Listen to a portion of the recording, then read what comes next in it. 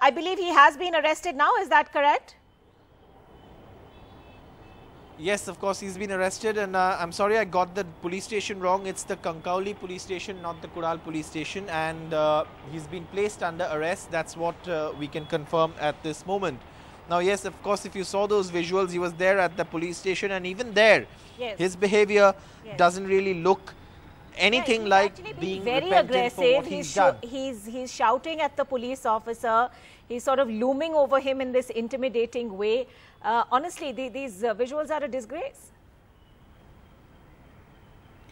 Absolutely, and this is not new for Nitesh Rane, and that's perhaps the sad part that MP, MLAs like these get re-elected.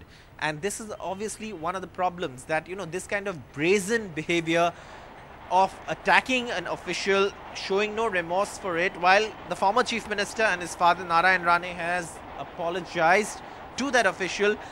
No such signs of any apology from Nitesh Rane, is still brazening it out at the police station.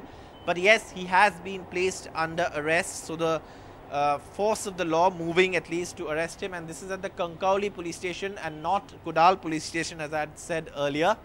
But obviously, Nitesh Rane being placed under arrest for attacking that official. And like I was saying, this also stems from that incident where in the morning, Nitesh Rane and his supporters were protesting against a potholed stretch of the Mumbai-Goa highway. Now, obviously, that is a problem. Potholes are a problem. Civic authorities should be held responsible. But clearly, this is no way to actually handle a situation or even enforce responsibility. This is clearly taking the law into their own hands. And for that, he has been booked under several sections at the Kankauli police station and also now being placed under arrest.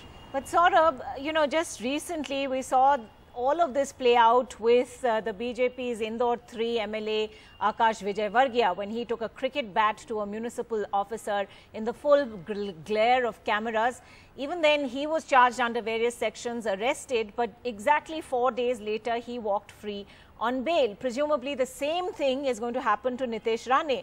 So, you know, what's to stop Netas from repeating this kind of behavior over and over again? Absolutely, you know, and I'm just checking those sections whether they are bailable or non-bailable sections. But obviously, if they are bailable sections, that means that he'll be given a on-the-table bail. If it's a non-bailable section, then of course he has to go to court and only a court can grant bail.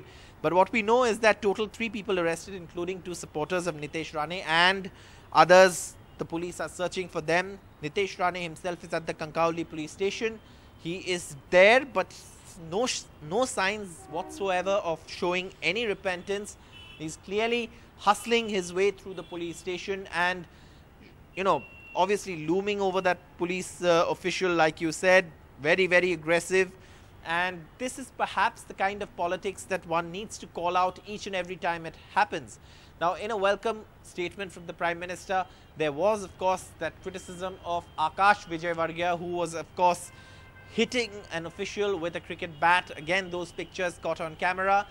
And now, again, Nitesh Rane attacking an official. And the sad part is that these are young MLAs who come from political families. So obviously, it seems like a sense of entitlement that they have, that they feel they can do anything, they can make things work their own way, even if it's in contravention of the law and that is something that they seem to be having no qualms about attacking government officials. Now, obviously, uh, the sections that uh, Nitesh Rane have been booked under are uh, several sections. I will read out the sections. They are sections 353, 342, 143, 148, and 149. And he's still at the police station. He's been placed under arrest, and that's something that we can report now that Nitesh Rane has been arrested after all for attacking an official this morning.